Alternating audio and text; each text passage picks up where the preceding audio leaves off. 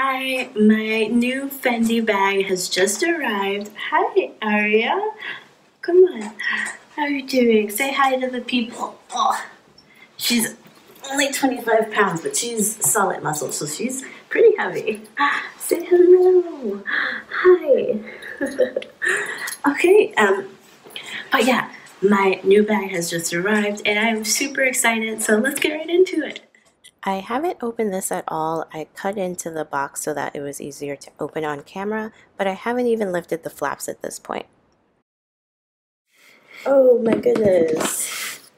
She left a little card in the inside. That is too sweet and I was not expecting that. Um, I bought this from Mercari um, using their Mercari Authenticate program. Um, I can get this open. Okay, here we go. Um, oh, that's so cute. And uh, this is just what the seller has decided to include, so that's super sweet.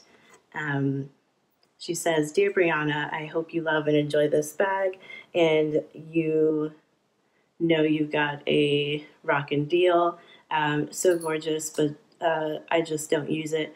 Hope you use it with much joy, love, and happiness. Have an amazing day, Megan. Oh my goodness.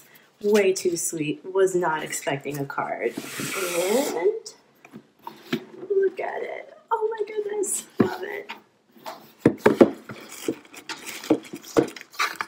And some wrap here. And so she pretty much like never used this. She ended up leaving it sitting on her shelf. So she's still got pretty much everything that comes with it. Um, that's why she's even got like down to the Fendi wrapping paper in the box. Okay, and we have the dust bag.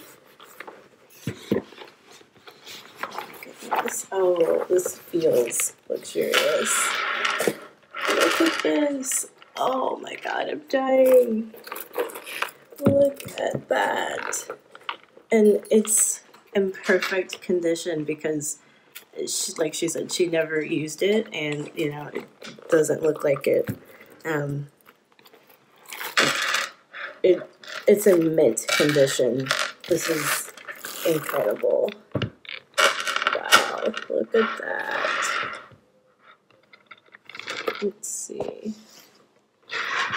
And if we open up We've got the magnetic closure. Um, that's what that looks like.